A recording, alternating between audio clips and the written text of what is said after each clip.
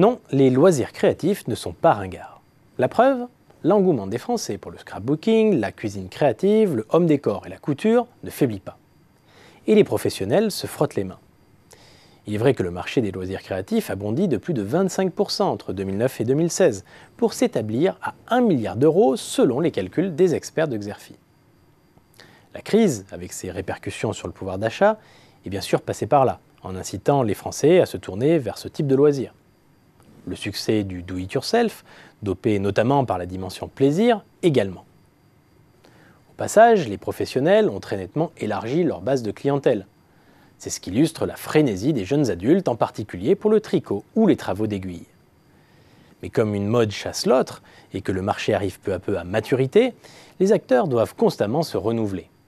À titre d'exemple, le groupe Carambel s'est positionné sur le segment porteur de la décoration de pâtisserie avec ses marques Scrap Cooking et Framboiselle.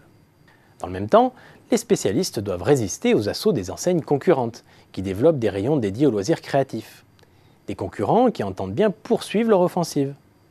Selon les experts de Xerfi, deux types d'intervenants sont les mieux placés pour l'emporter face aux spécialistes.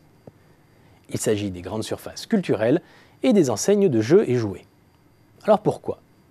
Eh bien parce que Cultura, d'un côté, la Grande Récré ou Maxi Toys, de l'autre, ont réussi à combiner leurs atouts traditionnels, prix attractif, mais aussi profondeur et renouvellement de l'offre, et les atouts des magasins spécialisés, ateliers créatifs ou animations de communauté par exemple.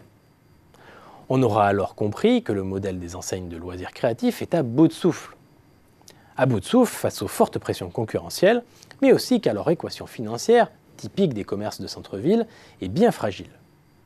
Je veux bien sûr parler de leurs coûts fixes importants et du pilotage très contraint de leurs grands postes de charge, comme la hausse régulière des loyers commerciaux. Les spécialistes doivent donc également avoir une gestion très fine de leur stock et de leurs commandes. Pour réagir, plusieurs options s'offrent aux enseignes spécialisées.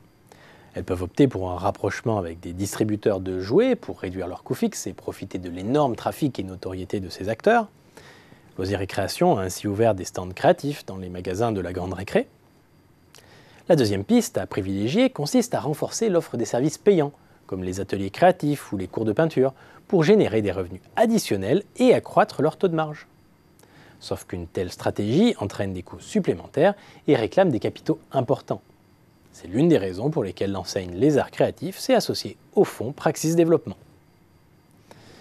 Parmi les autres axes de développement décryptés par les experts de Xerfi, figure également la diversification des formats de points de vente, corner ou magasins éphémères par exemple, et la prise en compte de la dimension communautaire des loisirs créatifs. Je pense ici aux blogs, réseaux sociaux ou encore tutoriels. Pour résumer, les spécialistes des loisirs créatifs doivent redoubler d'efforts, faute de quoi elles seront de plus en plus distancées.